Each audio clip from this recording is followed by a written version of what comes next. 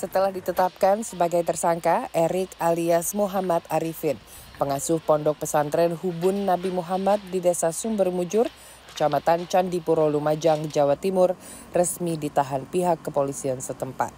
Tersangka diduga melakukan tindak pidana asusila terhadap anak di bawah umur dengan kedok melakukan nikah siri santriwati berusia 16 tahun tanpa pengetahuan orang tuanya. Berbicara pada antara Rabu 3 Juli, Kapolres Lumajang Ajun Komisaris Besar Polisi Muhammad Zainul Rofik mengatakan tersangka dijerat pasal 81 nomor 17 tahun 2016 UU tentang perlindungan anak dengan ancaman hukuman minimal 5 tahun dan maksimal 15 tahun penjara. Terhitung mulai kemarin sudah kita lakukan penahanan, saat ini sudah ada di tempat kami apa ada kemungkinan tersangka bersama kan? Nah, ini masih sementara dalam proses penyidikan, kami belum membagikan Nanti apabila ada dalam pengembangan ada lain bisa kami sampaikan kembali pada rekan-rekan.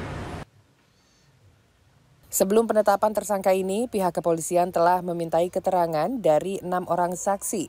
Disebutkan lebih lanjut, tersangka juga memberikan iming-iming kepada korban untuk menikahinya secara siri. Dari Lumajang, Jawa Timur, Hamka Agung, Kantor Berita Antara, mewartakan.